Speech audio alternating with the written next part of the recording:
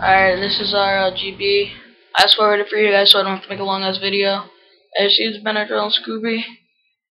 And as I go across the map, it's against Sustain and Bedazzle.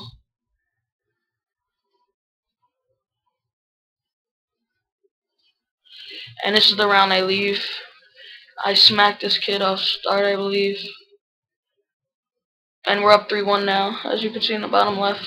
I just fast forward it for you guys, so I, cause I don't want, cause I know you guys don't like viewing proof that well, and you don't want long. You you have lives too, so you want to get over with.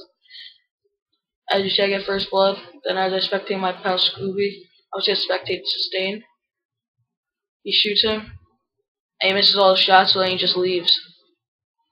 So that, and then you see what Dazzle leave. So that's a 2-1 victory for us, and I see it tells us winning 4-1 because they left when it was 3-1.